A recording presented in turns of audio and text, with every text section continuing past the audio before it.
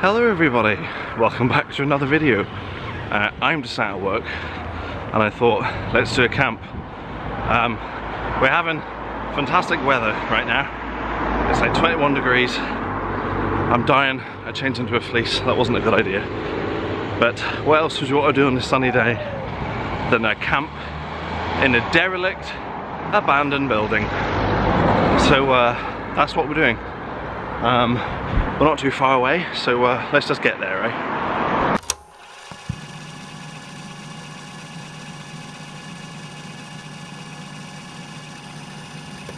Okay, we're just arriving at the house now. As you can see, it's pretty much surrounded by other houses. So I'm going to spin you around. This is the boy. I'm just to wait. I'm going to wait for an opportune time to go in. It's a real shithole. It's a real shithole. I mean, yeah, I know I can get into it. Um, basically, the reason I'll just ramble here while I wait for some time. I think we're going now. Actually, that's good. The reason I picked this house is because there's a big hole in the door. Um, drive, well, Nicola drives me past this. There's maybe a way in there, but I know there's a way in around the back, so that's where we're going. As you can see, it is mega exposed here. Mega, mega exposed. Especially to that house. But uh, yeah, that little piece of wood is our way in. It's uh, an interesting place, but I will uh, show you more of it later. Uh, for now, I think with it being so bright, we should just try and get in. Okay, we made it in. it's, uh, there's my bag. It was my intention to uh, show a nice shot of me going in and out, but getting in was a bit of a struggle. And then I got the bottom of the bag caught on a nail at the bottom and I was like, why am I stuck? But anyway, we're here. I'm gonna catch my breath and I'll be back with you again. okay, despite still looking beetroot red, I've had some time to uh, settle myself down. I've had a little look downstairs. Uh, it's in varying degrees of uh, order, but uh, yeah, let's go for a little tour. Um, this is my entranceway. This is like a little porch, I think. Um, lovely, sort of of its time, yellow cupboard. Step through here into, I don't know what this would have been. I assume this would have been the kitchen. I mean,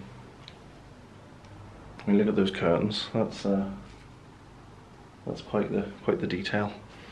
Um, yeah, assume this would have been the kitchen. Uh, the floor is completely gone. There's the sink. Um, this is what is left of the bathroom. and this I still have a toilet to pee in. And yeah, that's about it really. Um, you can see where some of the tiles and all have come off. And obviously the frosted window. Do we have, do we have electricity? Ah, damn. Who'd have thought, eh? So then, this is our main hallway. So we go straight across, we have this room. With some lovely orange paper and blue curtains. That classic uh, combination of colours. And uh, this creepy uh, aerial photo of a property. Now this isn't this property, so I don't really know where this is from. Could be anywhere, it's quite old as well. I'll look at the back later and see if there's any uh, indication as to where it's from. And then also we've got some writing here. J. Mills Ballymoney, painter, 17th of March 1981. Oh sorry, maybe that's the 12th of March. Sorry, the 12th of March maybe, 1981. Not. I was minus nine then. I found this little uh, Harry Potter cupboard Nothing in there apart from some tea cakes. Nice. And then the hallway. Um, there is a living room here, but it's completely boarded up and it's pitch black in there. There's also no floor. Um, but there is still the wooden slats, so it's like just lots of gaps. I don't think there's anything in there at all apart from an old fireplace.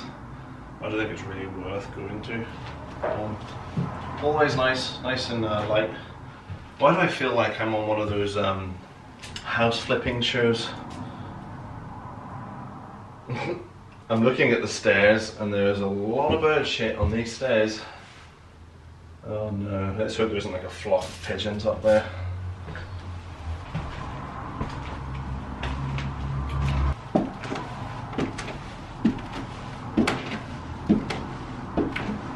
Yeah, so there is a room, there's a room just here as well.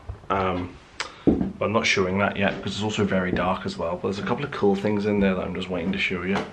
Um, but this is what I mean about all the bird poop. Now correct me if I'm wrong, I'm sure someone will.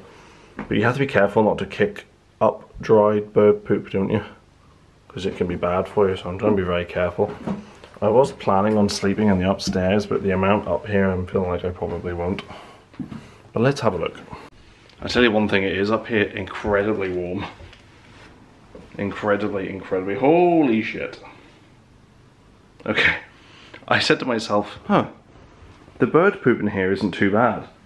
And then I opened the door. Let's just skip over that. It's uh, a wreck in here, as you can see. Some nice decay here and there. Again, I don't want to be digging up all this poop, but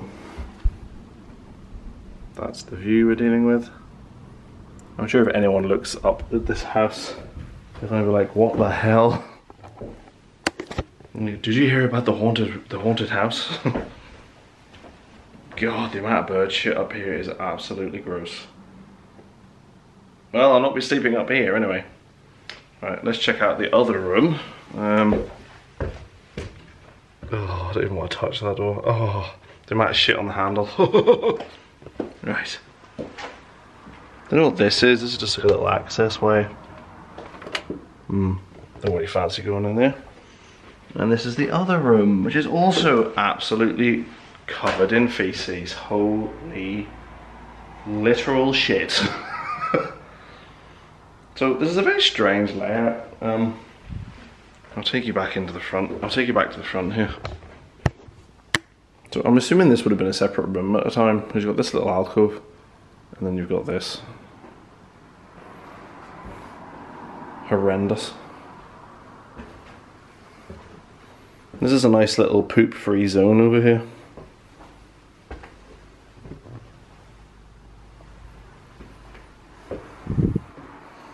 I mean, no, I couldn't even sleep here. Damn it, I really want to sleep upstairs, but this is horrific. It's actually horrific up here. Wow, Cadbury snaps. Wow, I haven't seen those in a long time. Holy hell. One thing I do like though is um, I love this window. I love this kind of the wind fluttering the curtain, the window being smashed, the decay above it. It's very um it's giving apocalypse. well, safe to say this place is gross. But um we'll do a proper um sort of spooky type tour like I did in my last abandoned house video later. But uh I think I'm going to go back downstairs because I feel absolutely disgusting up here.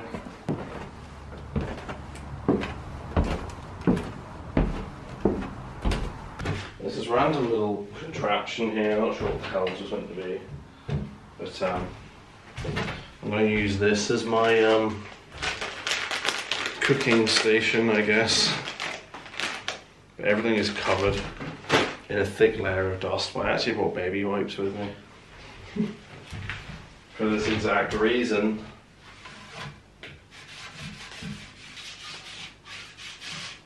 Look at that. You can eat off it now.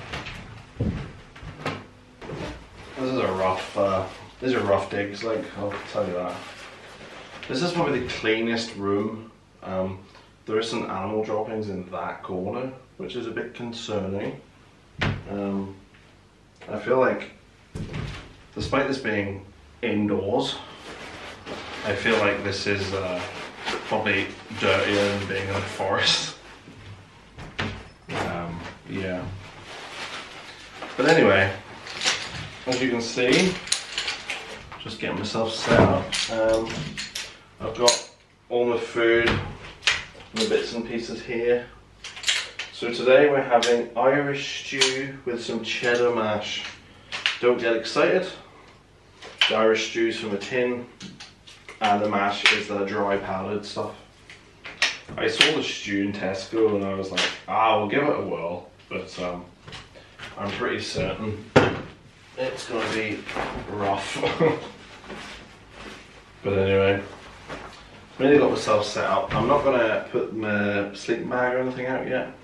I do have a tarp. If any of you watched my petrol station, abandoned petrol station video, or my other abandoned house video, I tend to lie the tarp out on the ground and then put my stuff on top of that because that way it just feels that little bit cleaner and I just need that little and I try that again.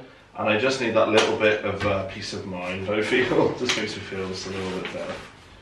But anyway let's finish getting this done and then I will get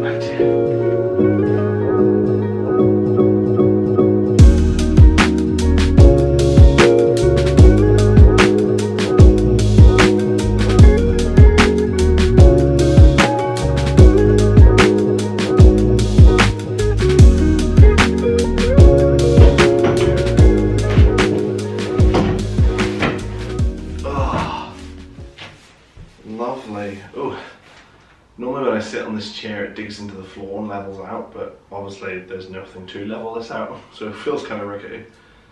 But I okay, well here we are. Uh, lovely, creepy portrait in the background. Food behind me. Now nothing but time. Uh, I'm going to grab my torch and I'm going to have a quick look at the rooms we couldn't really see in very well. And then, uh, yeah, I suppose we'll start thinking about getting dinner. Um, I'm going to try and get as much footage done as I can between now and 8 o'clock because uh, depending on when you're watching this video, if you're watching it the same week I upload it, um, the European Championships are on for football, soccer, whatever you call it. And uh, Scotland are playing Switzerland tonight, and uh, despite being English, I always want to see the other home nations do well. So I'm really hoping Scotland can get a result. Um, so I just about have enough phone signal to be able to stream it to my phone. So that's what I'll be doing between 8 and 10. So I have no intention of videoing anything between 8 and 10. So I have a smaller window to get everything done. So yeah, let's go see what these other rooms are like, will we? Okay, the other room's a bust. This room has all the old furniture placed in it. There's not a whole lot to see, but I'll do that bit properly later. But it's funny finding just old brands. I really enjoy that. Like you just you know you see a brand of like Pepsi or something and it's like a really old can. Like I just find that fascinating. I don't know why. Call me weird, but I enjoy it.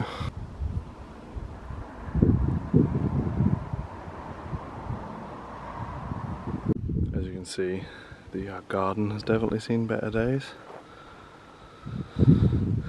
So just for context, next to this oil tank is the room I'm in. This was the bathroom. Obviously that's the way in. You can't really see the front, but I don't want to go around the front yet. Just because there's too many people. Although the ground is very well trodden down. I've noticed, so a lot of people obviously must sneak back here.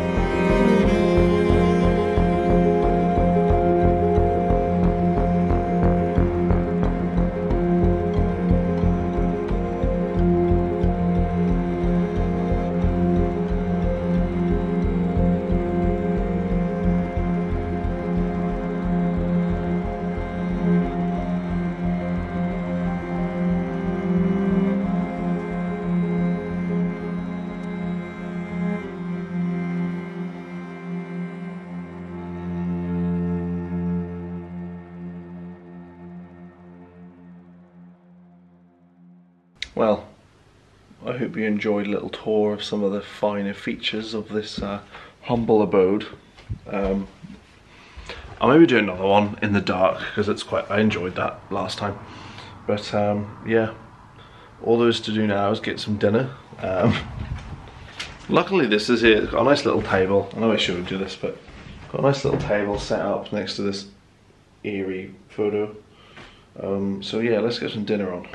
Ah, right, you. Whoa, I keep forgetting how low this chair is. Right, you schlags. Let's get some dinner on the go. Okay, today we're having tinned Irish stew.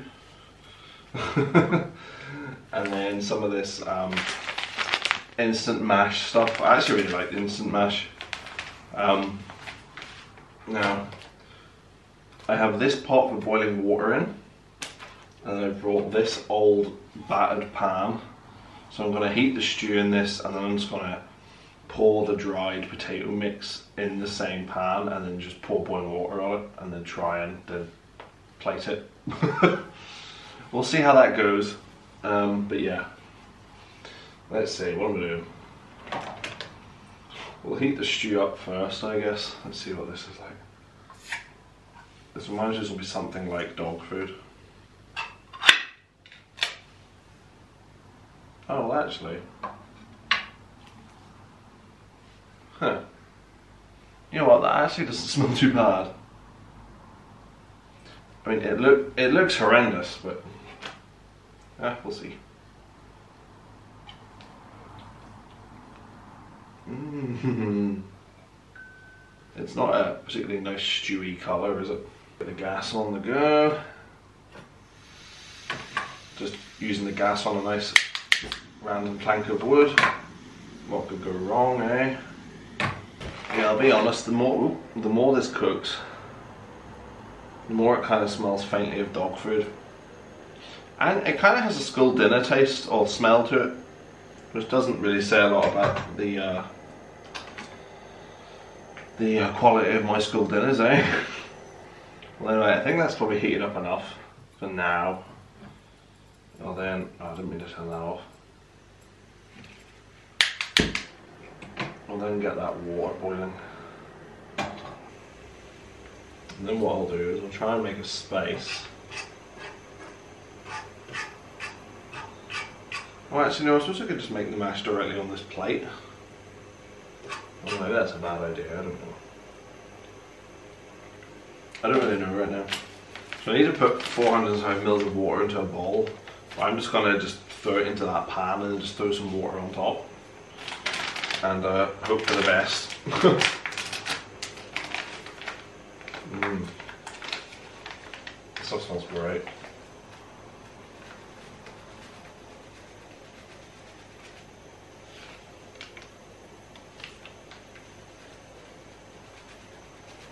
That's my partially heated stew and a pile of uh, dried potato. And then I'm just going to pour the boiling water on top and hope that that works out.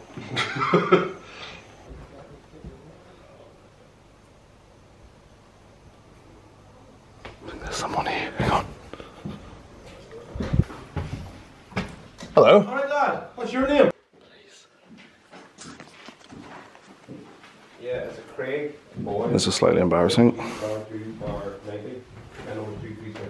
think this video may be early, ending early.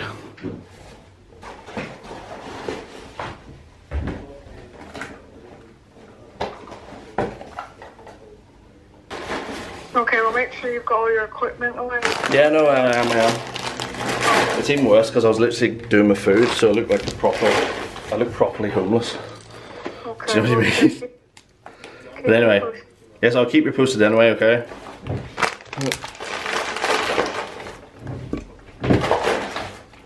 So, I'm not in the house. I'm not sure what I could record there, so I'm not sure what I got. But long story short, the owner of the house rang the police and the police have escorted me out.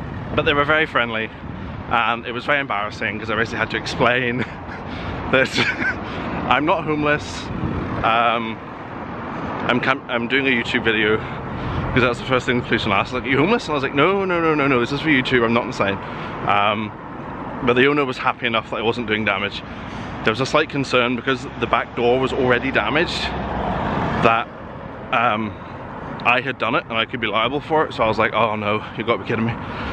But it was all fine. The police were very lovely. They were quite funny actually. I think they were found I think they saw the funny side of the situation. So I just apologise for basically bringing them out for such a stupid thing. And um, yeah, but that was pretty embarrassing. So I've called Nicola. She's come to pick me up and this camp is officially abandoned. Um, the worst bit about it was I just started doing my dinner and then so the room smelled like really horrible uh, beef stew. I literally just had to throw it all in a plastic bag and throw it in the pan. I've, I've thrown the entire pan and all the food in a, in a bin. I've just, oh I'm so embarrassed, Jesus Christ. But yeah, whenever he said I could be liable for the damage, I was like, oh no, this is terrible, this is so stupid. But um, yeah, they saw the funny side of it. We got some good footage of the house. I'm not camping in it anymore. So this is a fail. Uh, I didn't even get a thumbnail for this one. Uh, but oh well. So I'm still gonna upload it. It'll be quite a short video. But uh, yeah, it is what it is. I am gonna die of embarrassment when I get home. But anyway, if you enjoyed this uh, camp, uh, be sure to like the video and all that stuff. But otherwise, I'll see you in the next one where hopefully I, um, you know, actually camp.